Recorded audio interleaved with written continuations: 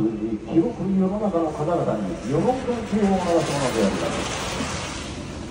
今現在ここのハーモニーホールにおいてそのような憲法を改正をしなくてもいいなどと馬鹿げたことを言う集団石谷町の人間たちが今そのような集会を行っているのが現状でございます。どうか国民の皆様も本当にこのようなことを一日も早くこの憲法改正を制定しなければ2世代、3世代の若者や子供さんたちがこの今の現状を引き継いでいかなければならないその立場を分かっていただきたいものであります。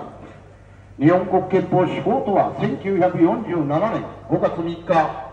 憲法は世界の状況に応じてまた日本の状況に応じて変更されていかなければならないにもかかわ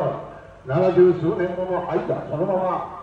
押し付け憲法いまだに背負っていっているのがこの情けない日本国内の状況であるということを国民の皆様方一人一人が納得していただきたいものであります。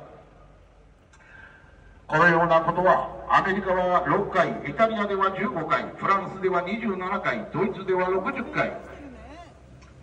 不分憲法と言われるイギリスはその時その時の状況で何の許可もなくに憲法改正ができる世の中にあるにもかかわらずそのような浦島太郎のようなことを理想を掲げるのが今の現状この憲法改正を反対す。るものであります。これから国民の皆さん冷静に考えられたものに今国民の方たちこの不思議なことを